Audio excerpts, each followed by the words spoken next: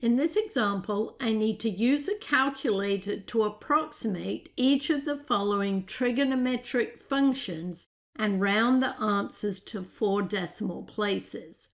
Notice I'm using a TI-84 Plus calculator. And in part A, I need to find the cosine of 158.3 degrees. Notice my angle is in degrees, so I need to check the mode of my calculator. Notice radians is not highlighted, but degrees is, so my calculator is in degree mode. So now I need to quit, which is in blue, so I just hit second mode. And that brings me back to the home screen. Now I just need to type this in. So I have cosine. Notice this calculator opens a parentheses when you hit any of the trig functions. Now I put in 158.3. I don't need the degree symbol since I know my calculator's in degrees. Close parentheses and then hit enter. So I need to round to one, two, three, four decimal places. That's the position of the one. The three is not going to affect the one. So my answer is negative 0.9291. Now in part B, I need to find the sine of negative 147.5 degrees. I'm still in degrees. So sine Notice it open parentheses. Now be careful. This is a negative. This is the negative key on the calculator. This is the operation of subtraction. If you use the subtraction key, you're going to get an error message. So use the negative key 147.5 close parentheses, hit enter. Rounding to the fourth decimal place, that's the 2 9 is going to round that up. So my answer is negative 0.5373.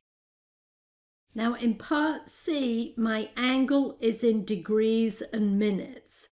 I prefer to just convert it to decimal degrees by saying my angle is 67 degrees plus now, how many minutes are there in a degree? 60. So it's going to be 39 divided by 60. And that is the conversion for converting 39 minutes into decimal degree form. So now I can do that in just one step on the calculator. Tangent of 67 plus 39 divided by 60, close parentheses, and hit enter.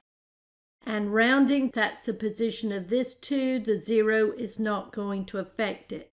So my answer is 2.4322.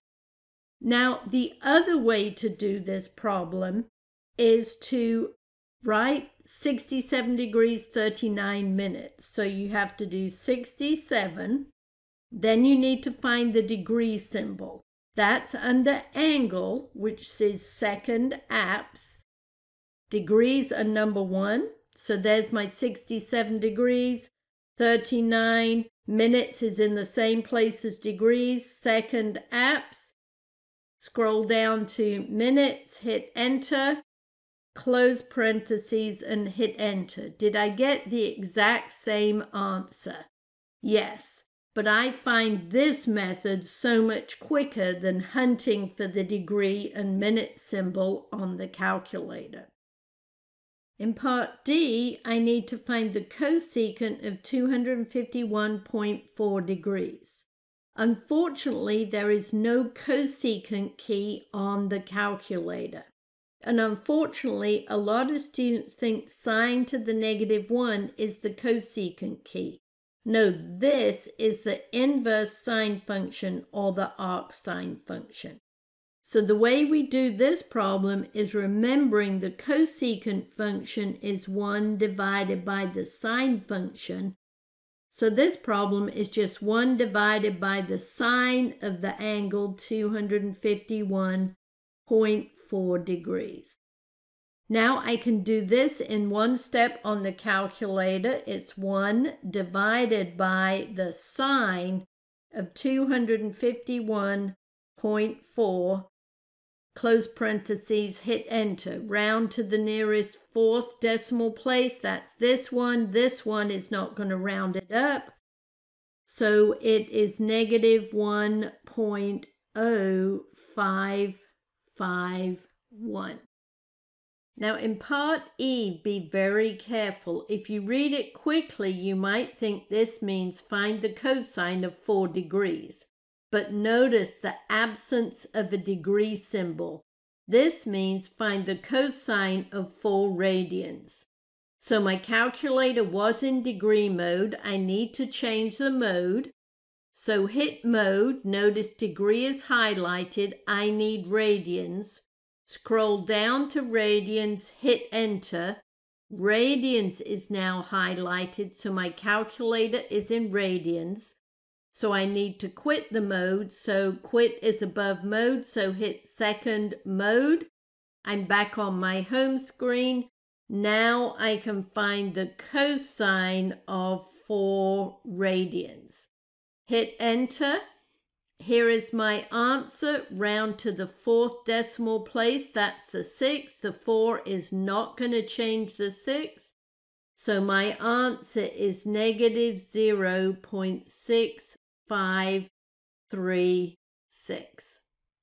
And lastly, in part F, I need to find the cotangent of negative 3.51. Again, no degree symbol, so this is in radians.